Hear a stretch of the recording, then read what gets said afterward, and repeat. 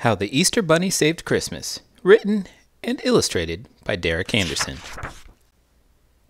One cold, blustery Christmas Eve not long ago, Santa was helping the elves load the sleigh.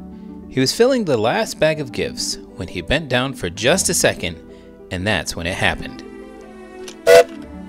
A toy train bonked him right on the noodle. It knocked him as flat as a penguin pancake. Poor Santa was out cold.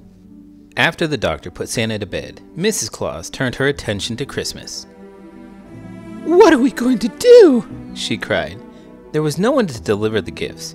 Mrs. Claus had to look after Santa. The elves didn't know the route, and the entire team of reindeer was brand new. There was only one thing left to do. Mrs. Claus called the only other fellow who makes the trip every year in one night.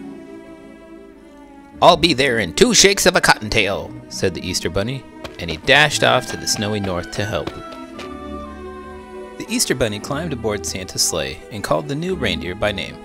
On Flicker, on Flapper, on Jumbo and Fritz, on Rocky, on Rosie, on Lumpy and Blitz. And the Christmas sleigh was off. The only problem was, the Easter Bunny forgot to open the barn doors and they crashed through, nearly knocking the reindeer silly. Oops, sorry fellas, he said. The reindeer were not amused. He tried to make it up to them when they started the deliveries. Luckily, he had the perfect treat jelly beans. Puh! said Flicker as he and the others spit them out. Doesn't he know we like candy canes? The reindeer could tell this wasn't the Easter Bunny's holiday.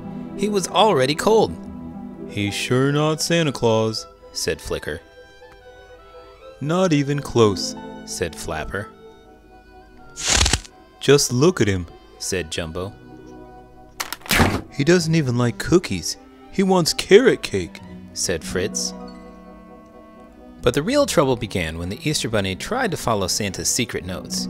Every home has a special place where they'd like Santa to leave their presents, and Easter Bunny just didn't understand. He did everything wrong. Please put the Farnworth family gifts right under the tree. The Myers like their presents in their stockings. The Watsons like their gifts placed directly under the holly. But it wasn't until they stopped on a snowy roof in the Midwest that everything changed. The Easter Bunny was freezing his cottontail off, and the deliverers were getting behind. He was trying to hurry when he took one step out of the sleigh and slipped off the roof into a giant snowbank below.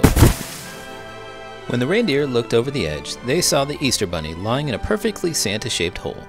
They suddenly saw him like they had never had before. You know, he isn't trying to take the place of Santa, Said Rocky, he's just filling in. said Rosie, He'll need help if he wants to save Christmas. said Lumpy, Let's jingle. said Blitz. After pulling the Easter Bunny from the snowbanks, Flicker, Flapper, Jumbo, and Fritz, Rocky, Rosie, Lumpy, and Blitz bounced onto the sleigh.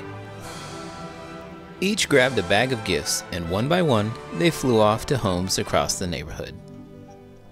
Merry Christmas to all! cried the Easter Bunny, and suddenly he wasn't cold anymore. Slipping in and out of snow capped chimneys, the Easter Bunny and reindeer quickly caught up. They worked together, delivering to every home and apartment, every condo, cabin, and camper in the world until they finished the entire list. And just as the sun came up, they headed back to the North Pole. Santa was feeling much better by then. He and Mrs. Claus invited everyone to Christmas breakfast, where they surprised the Easter Bunny with the biggest slice of carrot cake he'd ever seen.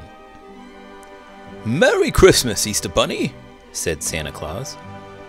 Ho, ho, ho, laughed the Easter Bunny, and they all had a glorious Christmas day. And that's how the Easter Bunny saved Christmas. Well, sort of.